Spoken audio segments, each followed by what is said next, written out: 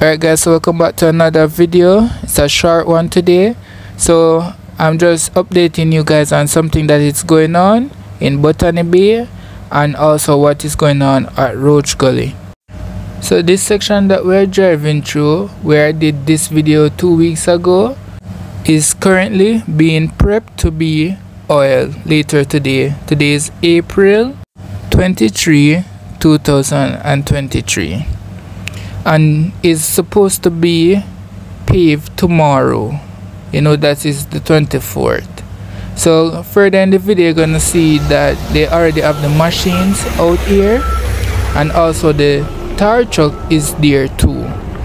So we weren't going to video here today. We were just passing through and they said that it's gonna happen. So I just did a short video for you guys just to update you guys on what's going on.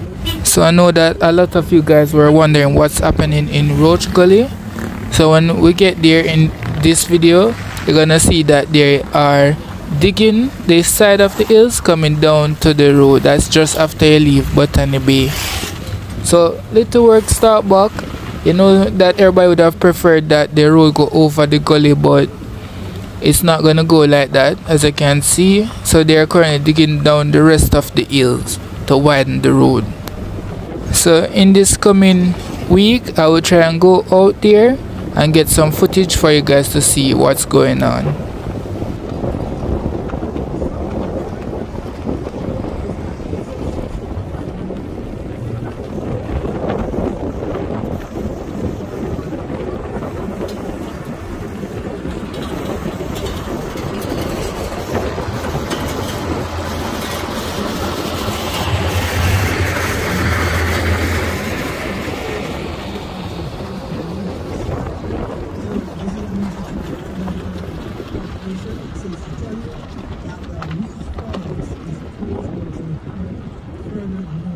So here you can see all of the equipment that they are going to use to asphalt the road. And that yellow head truck you see there, that's the tar truck.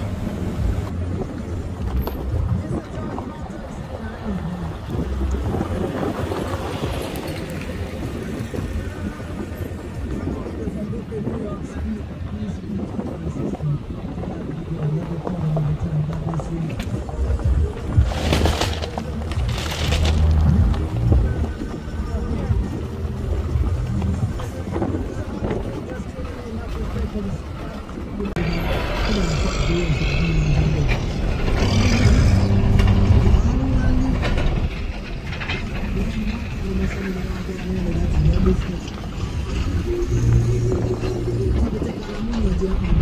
you.